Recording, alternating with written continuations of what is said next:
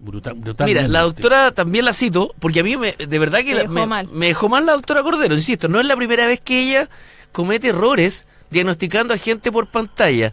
Ella dice, todos tenemos derecho a decir lo que pensamos, esto se llama democracia. ¿Sabes lo que voy a hacer?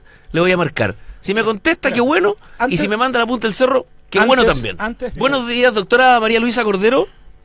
Sí, Doctora, gusto saludarla. ¿Cómo está? Muy buenos días. Usted habla con Gonzalo Gutiérrez, periodista del programa Domingo a la Carta.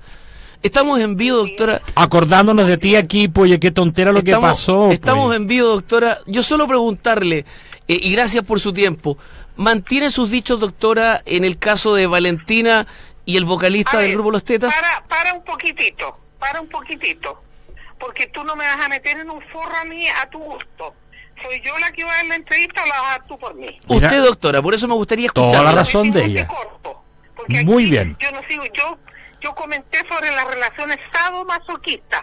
Yo no tengo la culpa que la gente de este país sea tan ignorante que una opinión de un especialista saque una agresión a una a una maltratada. Te Para apoyo, María Luisa. Clínico. Te apoyo, María El Luisa. diagnóstico clínico es el mismo Cawil que tus colegas ignorantes, mal informados y sin bibliografía armaron cuando yo me referí La interpretaron a la mal, oye. que había traído un grupo de haitianos al hospital San José. Me metieron en un forro, capitaneados por cierta persona que no voy a nombrar, Lógico. a través de Twitter, que la Pero, estamos en democracia, ¿por qué no, ¿por qué no la puede nombrar, no, doctora? Déjame hablar, yo no tengo la culpa que la, la formación de los periodistas sea tan precaria que no son capaces de distinguir un pelambre farandulero Tiene de toda la y una razón. opinión de especialista. Doctora, pero mi pregunta... O me, va, o me van a crucificar como crucificaron a Galileo Galilei, que Pero- dijo que la Tierra era redonda y le puso los Toda la razón, pues. ¿Me permite que le haga una pregunta? Toda la razón. ¿Me permite que le haga una pregunta, doctora? No, es que las preguntas que haces tú son directamente proporcionales a la mala formación que te dieron en tu universidad. No, bajo ninguna circunstancia. disponible Para que me estropajeen. No, doctora. Así que, ofreciéndole disculpas, me he tenido que respeto. Es solo una pregunta. Linda preciosa, te quiero decir una pura palabra. Es, Mi amor, es correcto, es correcto María Luisa. diagnóstico, doctora, sin conocer a la persona. María Luisa, No, dame un minuto.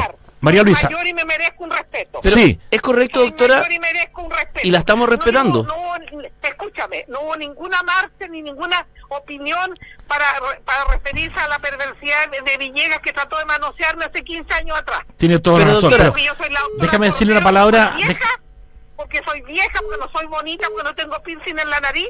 tiene toda la razón. Yo la respeto, Déjame- doctora, porque mi madre Exacto. también tiene su edad y la respeto, Es- por supuesto. Y la pregunta solo No, es, ¿usted no, puede hacer... Nadie me apoyó a mí cuando denuncié a la generación de Villegas. ¿Sabes quién me apoyó? Las maquilladoras, las peluqueras y las periodistas que se degenerados civilizados. Pero, doctora, permítame la pregunta. ¿Es Nada, correcto, un apoyo. es correcto dar un diagnóstico, doctora? Pero, pero escúcheme, por favor, doctora. Respéteme usted también a mí.